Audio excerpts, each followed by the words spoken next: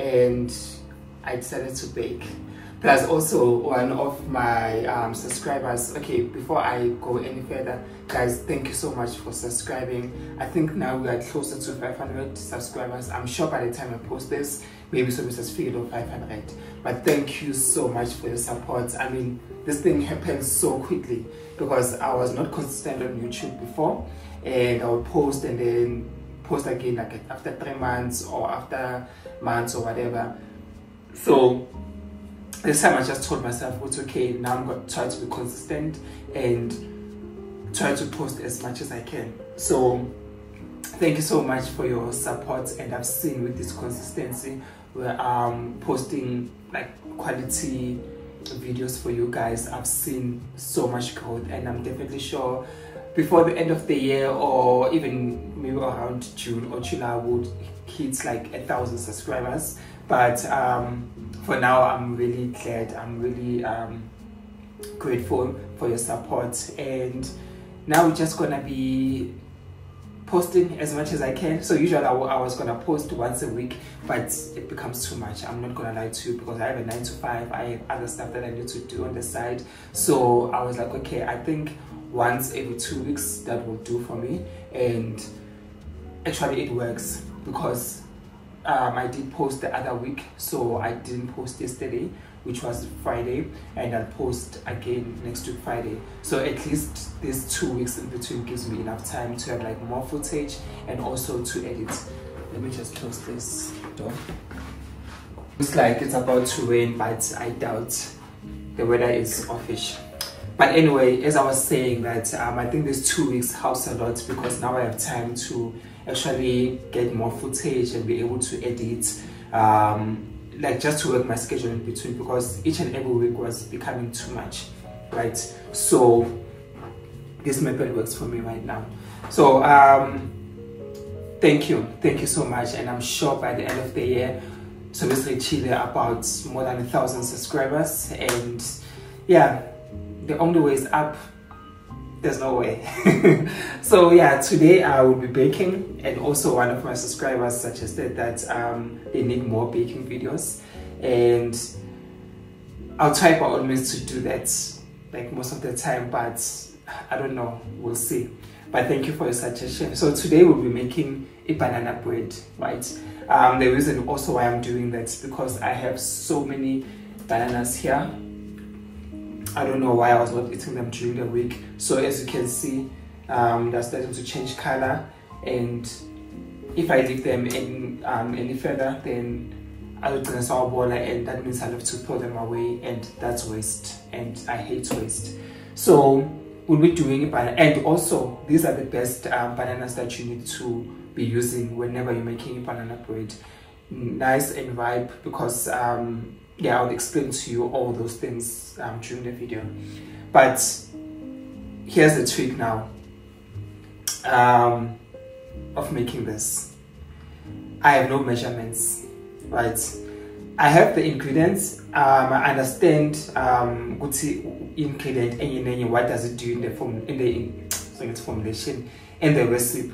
That's very important for you to understand that. So I have understanding of all that and I'll use my knowledge to get through all this thing right? So I have my flour I have my um, plain yogurt baking powder vanilla essence eggs oil and I also add sugar here um, so I believe okay I'll also add other things as as it goes because it's very very important for me or anyone to understand the recipe before you you do anything right? So yes i've done banana bread before but that was like a long time ago. I think it's been over a year right now.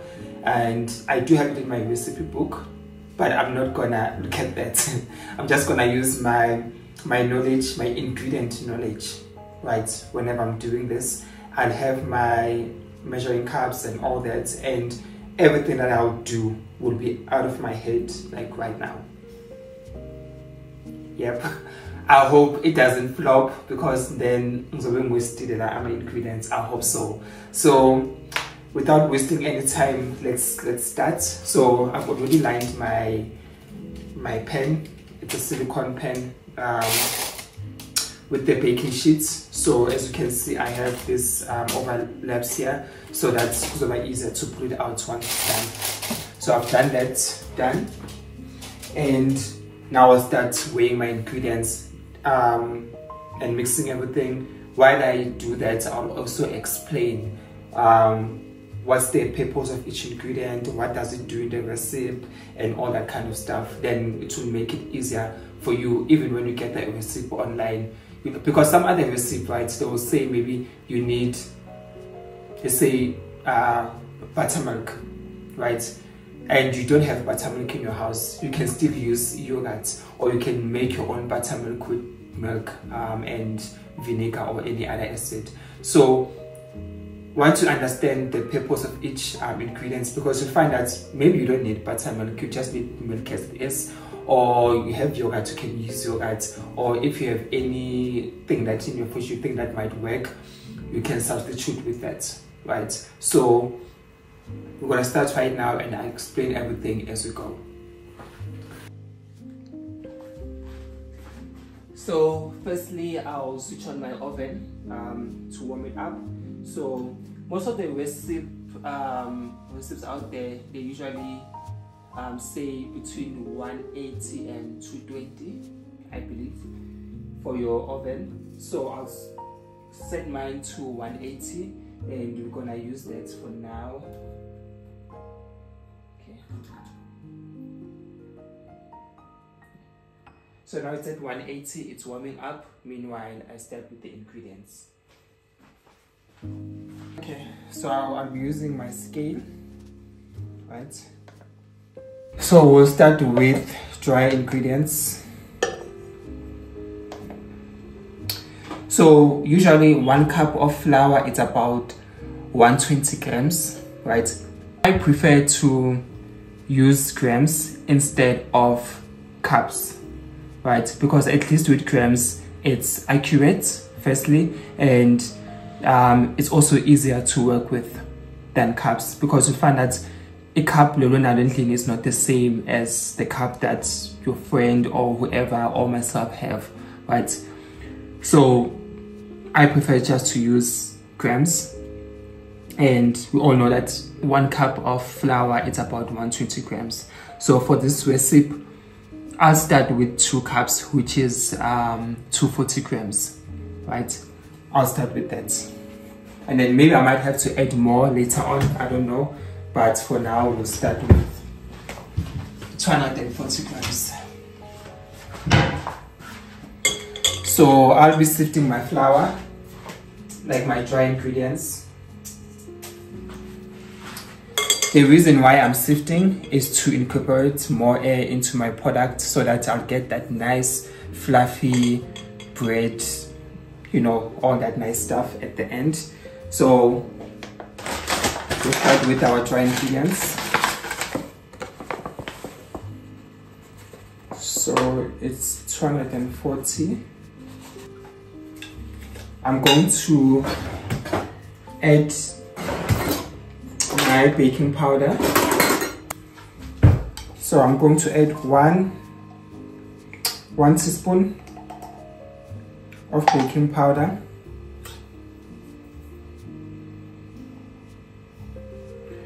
which is about 3 grams. And also just to add a little bit of um, lift onto my bake I think I will also add a quarter teaspoon of baking soda. Also acts as a leavening agent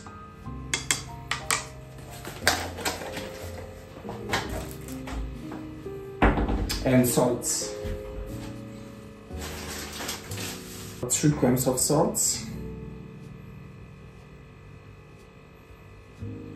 So salt is it's a flavor enhancer, right? You might ask yourself, oh, we're making a cake, won't it uh, mess up your taste or whatever? It's only a little bit of amount and it's a flavor enhancer. So everything that you add in here will actually be elevated by your salt. Done with our dry ingredients so I was gonna add sugar here. Ne?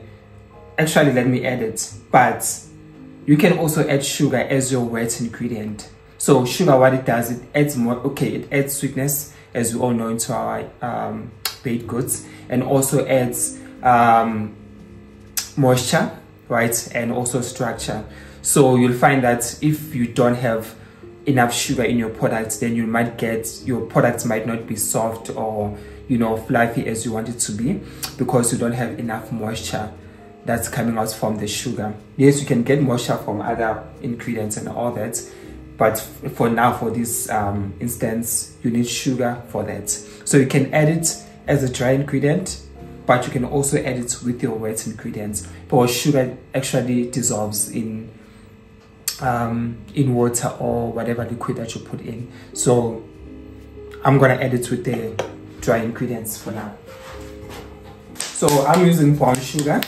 You can use white sugar if you have, but the reason I'm using brown sugar is because um, it has a more like caramelly taste and yeah, just adds those nice things into your product. So I'm gonna add 200 grams of sugar, brown sugar. Guys, to be honest, I hope this comes out well. I definitely hope so. Okay. So I have 200 grams of brown sugar in here.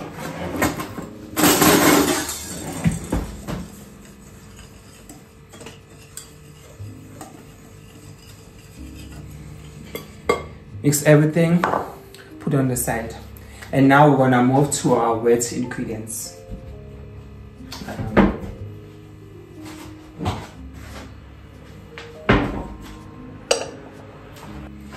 so for our wet ingredients i'll start with two eggs.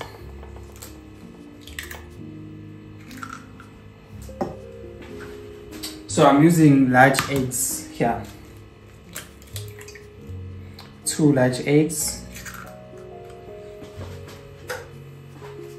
and one tablespoon of vanilla essence one teaspoon sorry of vanilla essence. Our sunflower oil. So the reason why we're adding sunflower oil also contributes to your moisture in your product, but also it makes your baked goods last longer right? So i'm gonna put this like in the fridge um, i'm gonna maybe finish it maybe by end of the week or something it will still be fresh. So vegetable oil um, keeps your products longer um, keeps them fresher for longer. So you'll see it mostly on your um, like chocolate cakes vanilla cakes and other baked goods. So that's what it does. So here i have a quarter cup right of vegetable oil. And I'm also going to add one cup of plain yogurt. So plain yogurt also adds to moisture in your product in your end product, but also it will react with the leavening agents, right? And then will create that nice fluffy end product at the end. So here I'm gonna add one cup which is actually one cup it's a lot i'm gonna add about 100 grams. I'm gonna add 100 grams of yogurt i'm not sure how much is that in a cup just because this one is like one cup. And then lastly we're going to add our ripe bananas. So I'll use the scale to measure how much I've used because as I've said before the size might not be the same. So you might get the big ones and I only have these ones. So if I'm weighing them in a scale you'll find out maybe if you have the big ones you'll only use two but with these small ones maybe you might use four or five right? So I'm just gonna mesh this up. And also my banana will be the like a huge contributor to obviously because it's called banana bread. But also nazo they they do add moisture onto your end products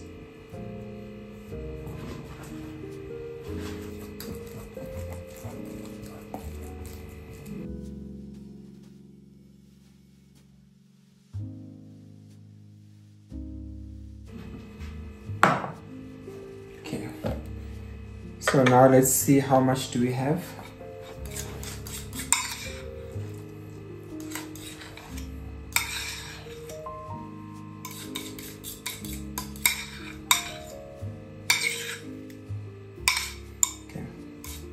So currently we have about 280 grams of mashed bananas. And I'm just gonna add one more because I think this won't be enough.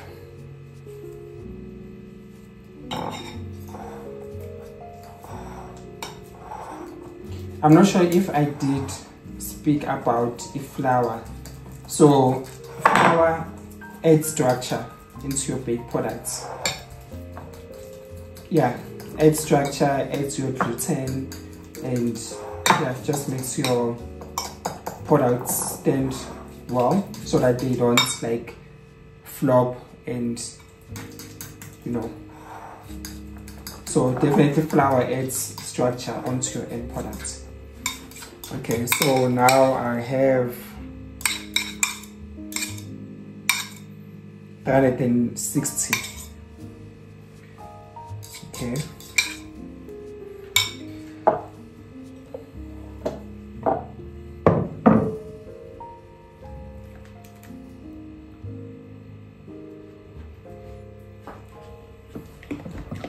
Gonna mix everything together.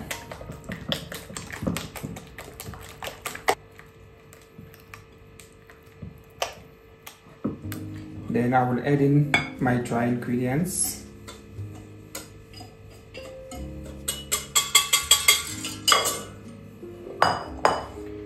and then I'll just fold in everything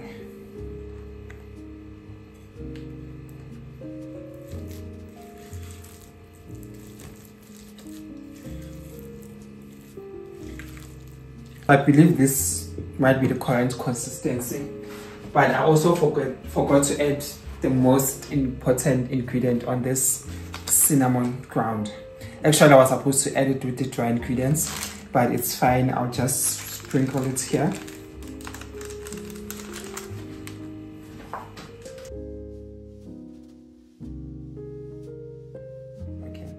So I believe this is fine.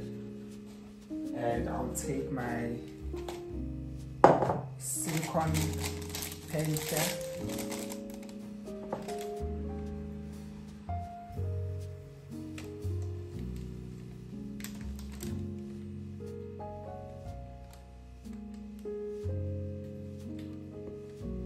hope it's not gonna overflow. I hope so.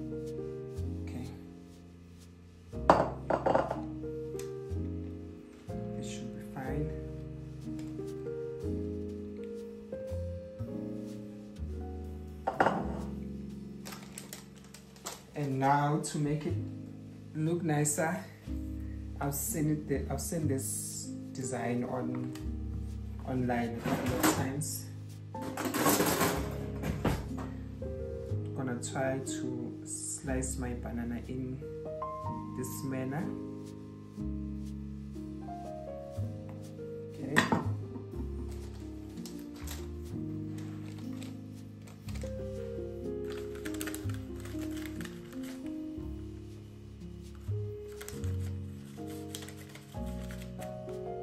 lovely. Okay. So the oven's been on and now i'm just gonna check it in for at least 45 minutes. I'll check after 30 minutes and see and then if i need to bake it um, longer then i'll increase the time.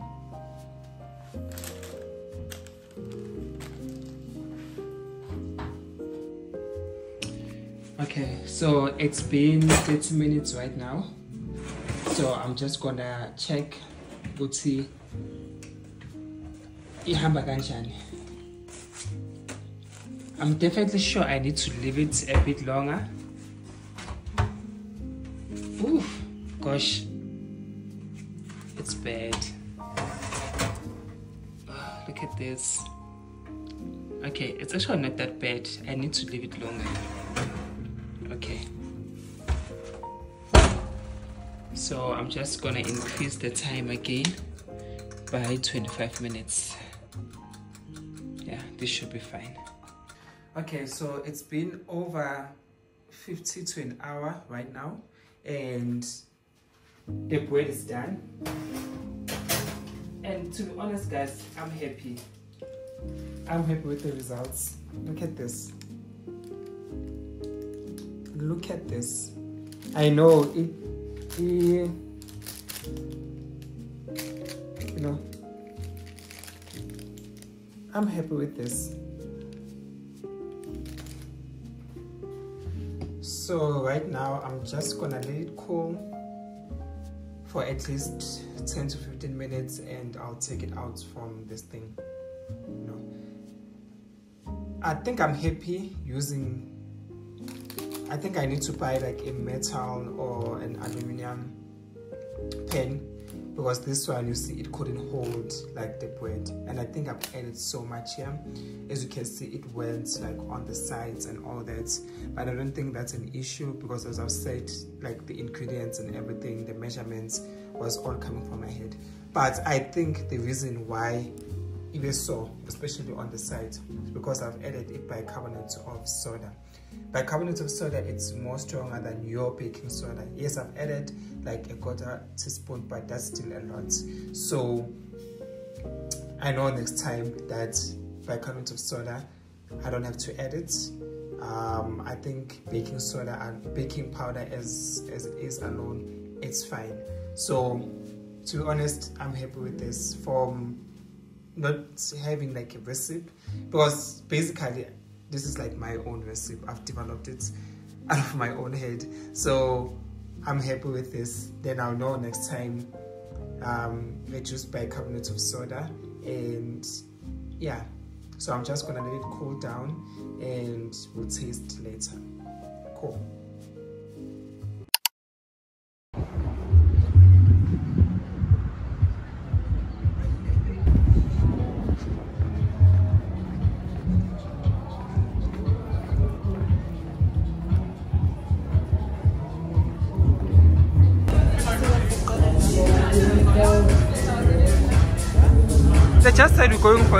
for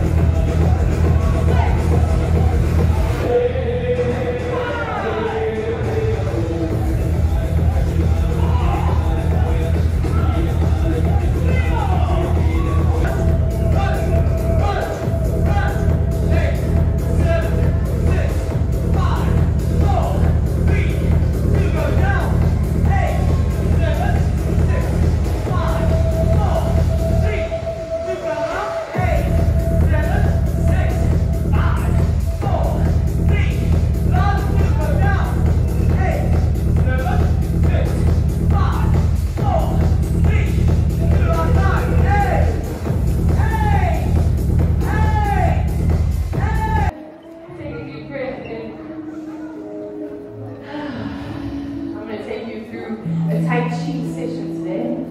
Eh? All you gotta do is move slow. Front toes turn, small slow.